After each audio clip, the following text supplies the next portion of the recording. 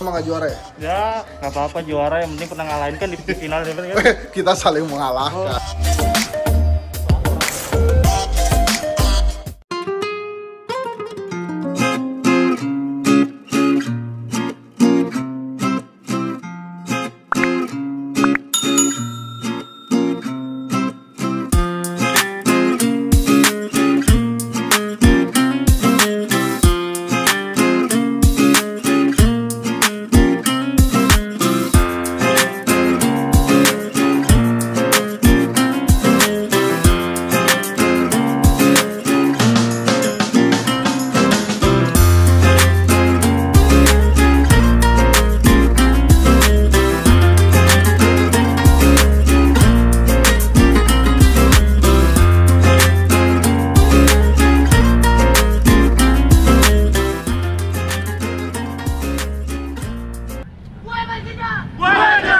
You just uh, arrived and joined the team.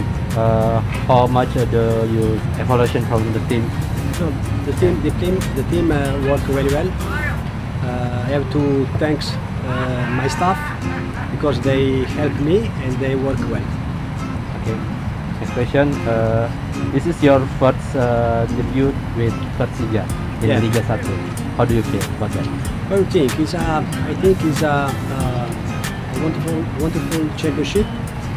Uh, maybe there are this problem about the COVID, but now it's uh, it's important to start uh, play.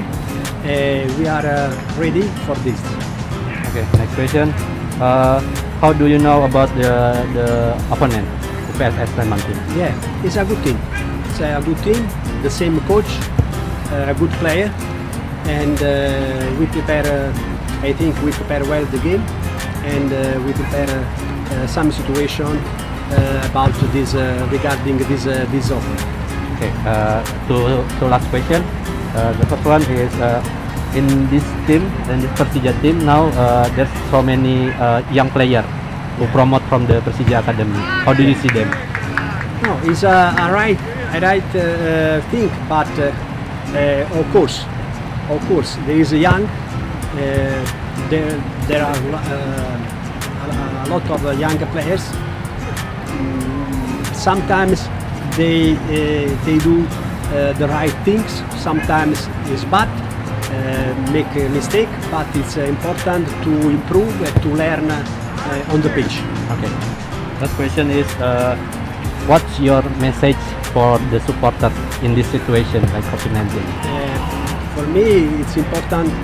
Uh, thanks uh, to the fans because they support me, they support the team always, and uh, they want to start uh, to, to start well and uh, give them uh, uh, a big result this year. Okay. Thank you very you, much. coach.